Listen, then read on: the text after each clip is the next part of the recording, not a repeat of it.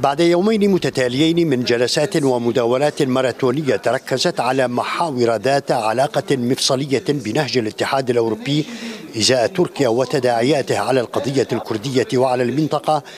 جاءت دعوة المؤتمر الدولي الثامن عشر في البرلمان الأوروبي في بروكسل للاتحاد الأوروبي إلى التحرك بموجب التقرير الذي أصدره البرلمان حول تركيا. فيما طالب في المقابل مجلس أوروبا باتخاذ الإجراءات اللازمة ضد أنقرة لعدم امتثالها لقرارات المحكمة الأوروبية لحقوق الإنسان. في الأثناء التي أدان المؤتمر في بيانه الختامي مواصلة النظام التركي لنهجه العسكري وانتهاكاته لمعايير الديمقراطية وحقوق الإنسان وأكد على مطلبه بفك العزلة والإفراج الفوري عن القائد الكردي عبد الله أوجلان في إشارة إلى الحملة الدولية التي انطلقت من أجل حرية أوجلان وحل سياسي للقضية الكردية.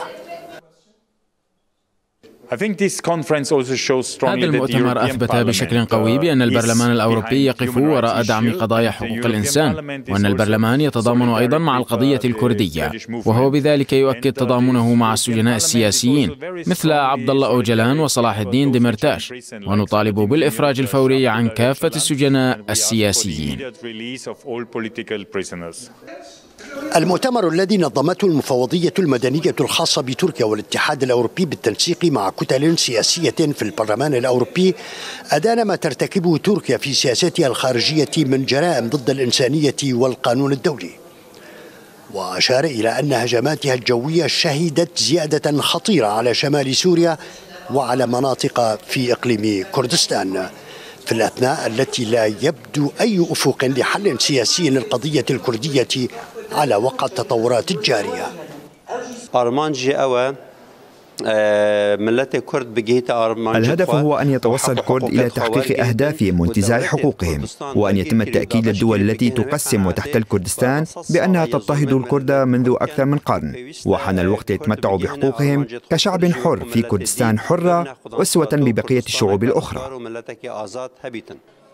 هذا وأشار المؤتمر إلى أن الانتهاكات بحق النساء بلغت مستويات قياسية منذ تولي ما يسمى بحزب العدالة والتنمية الحكم وخاصة بعد انسحابه من معاهدة إسطنبول بينما رحب بقرار منح جائزة زخرف للسلام للفتاة الكردية جينا أميني على أنها رمز لمقاومة المرأة الكردية.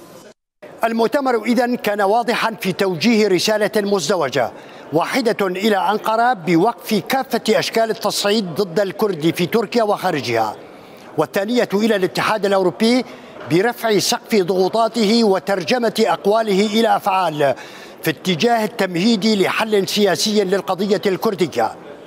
في ظل مساع قد تتبلور فيما بعد ربما لإشراك المجلس الأوروبي والمفوضية الأوروبية في النسخ القادمة للمؤتمر الدولي من داخل البرلمان الأوروبي في بروكسل. كريم باقستاني اليوم.